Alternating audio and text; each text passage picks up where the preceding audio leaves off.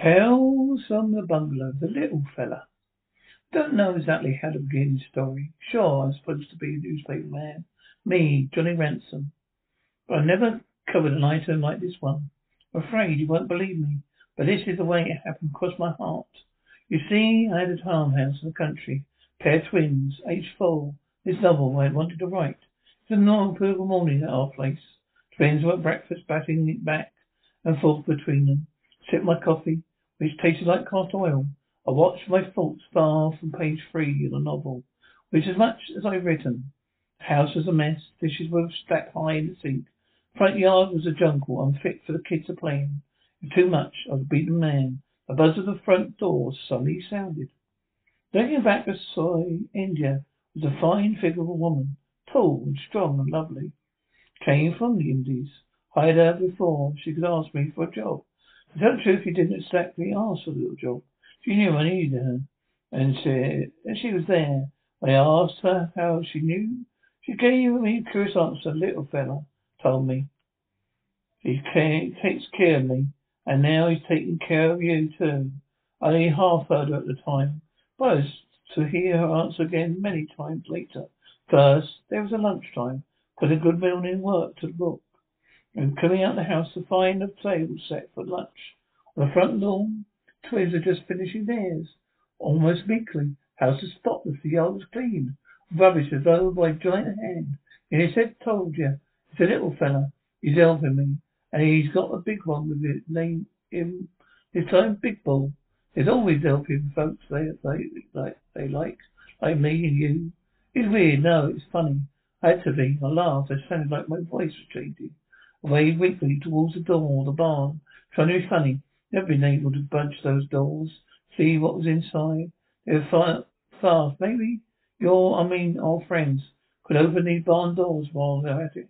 I'd like to see what's inside. A moment in which nothing happened, but only a moment. Then slowly every doors began to swing open. They creaked, they groaned, but they moved. They moved and called. With nothing, no one. Within fifty yards of those doors. That is no one who ever could see. See, said the little fellow again in bended voice.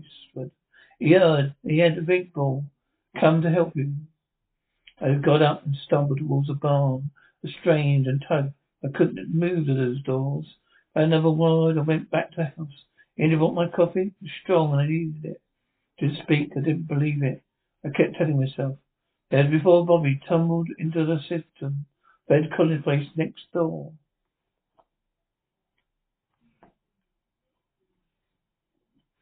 The next afternoon, Ellen came running to get me, shouting for the help with her tears. The kids had been playing, couldn't see the overgrown, unused cistern, and I was going round, afraid Bobby was alive. When I got to the well, India was already there on the ground near the cistern. Bobby, spent, red-eyed, but alive, smiling, caught him in my arms, heard a little faint murmur. The little fella, I looked at India. Her lips framed the words, but when she went on quickly, he had found Bobby as I did, bruised and hurt by the side of the well. All that would have been passed fresh from his lungs. The voice dropped. Someone climbed down the narrow cistern after the boy, uh, as someone lifted him up. And out by the mouth of the well, room for a child's body, yes. A man's no. The edge of the pipe was torn away by a giant hand. I checked the words, but the thought remained. To a little fella, big ball, I checked the fault I fast. When I got to my feet, Ed Collins was with us. Big guy, big and mean. In the his arm, he cradled a short off shotgun. He asked them questions. He here, he went off his pro- he get off his property fast. No, he'd be blasted if we kept the top of the cistern. I could bloody well keep my brats chained up. And if he couldn't start to get get in a hurry, he was gonna blast us. But that's, that was when I hit him. My first punch smashed the shotgun down against his back ribs. My second to the jaw, rolling him over the scrub near the cistern. He cursed threatening, terrible revenge against the, what I loved most. My children. We didn't get up. Not until we, after we'd gone. We couldn't be bothered, Collins, the next day, days. One thing bothered me though. Two things. The little fella and big ball. Couldn't get them out of my mind. Could you? And my boots? I finished the first chapter. Looked, I took it down to the town. Publisher liked it. Coming back to the house that, night, I could see the next chapter just the way I wanted it. House was dark. My house key was in my hand. I didn't need it. The door was ajar. The natural silence pounded in my ears. In the hallway, I stumbled at my feet. There was there was something soft, moaning low. It flickered the right switch at my feet. It was injured, lying still, hurt. She stirred, moaned, moaned again, whispered, Collins. It came for the children, but they're safe. He drove off. Go after him. He'll be all right. Yes, I heard her, she said, Marie. I ran out of the house and across the lawn. Found myself following a trail of bloodstains. Put the place. At the end of the trail, I found Collins.